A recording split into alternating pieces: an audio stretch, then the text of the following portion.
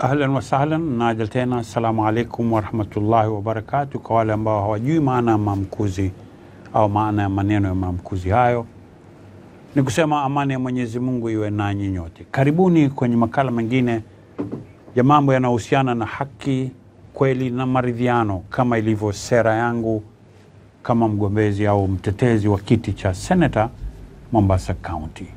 Moja katika mambo ambayo pia yanakusumbua wewe na watu wengi ni kuhusu utekwaji nyara, unyanyasaji, dhulma zinazoambiwa zinafanyiwa Waislamu.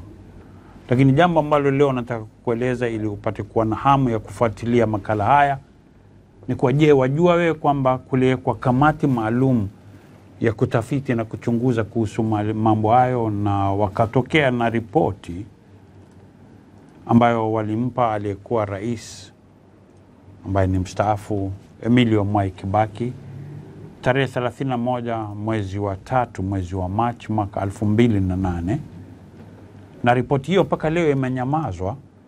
Wewe hujui na wengi wengine hawajui. Kwa nini iwe hivyo?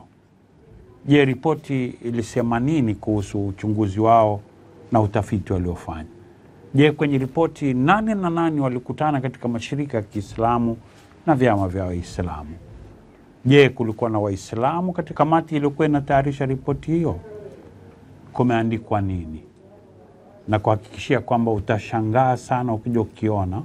Nakumbuka kwamba tarehe 31 mwezi wa tatu mwaka elfu mbili na nane hadi hivi leo ni miaka kumi na tatu na miezi minane ni miaka kumi na tatu na miezi minane. Vya ushawahi kusikia ikizungumzwa ripoti hiyo?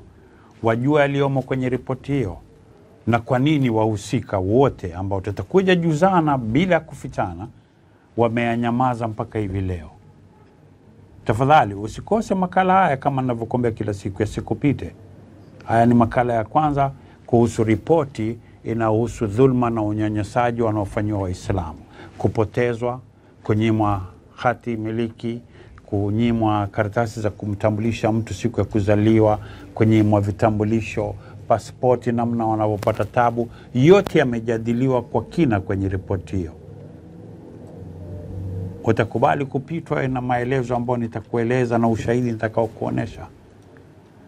Tafadhali andamana nami. Makala ya pili usiyakose. Salamu alaikum warahmatullahi wabarakatuh.